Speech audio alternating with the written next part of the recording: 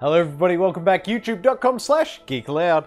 Uh, a little bit of a different one today. It's This is a follow-up to the uh, Let's Upgrade SSD uh, video we did a couple of weeks back, just to see what kind of uh, benefit we got by upgrading that SSD. Oh my god, how many loading screens do they need to put in this game?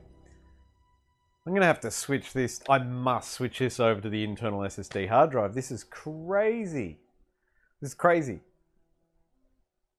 Absolute insanity. Long load time, such a pain. Make sure you install anything you want to play with a lot of fast travel points to an SSD. Like, The Witcher was improved by it, this would definitely be improved by it.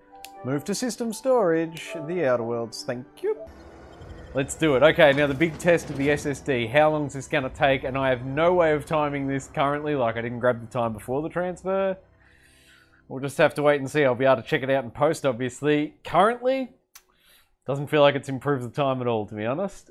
This feels about the same duration.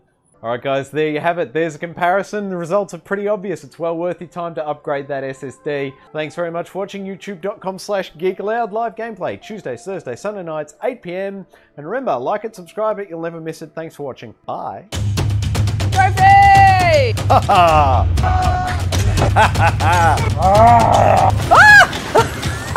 oh! Ah! Oh!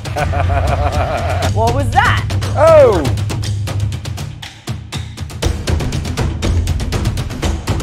Yes! Stay off my box. Oh! Trophy!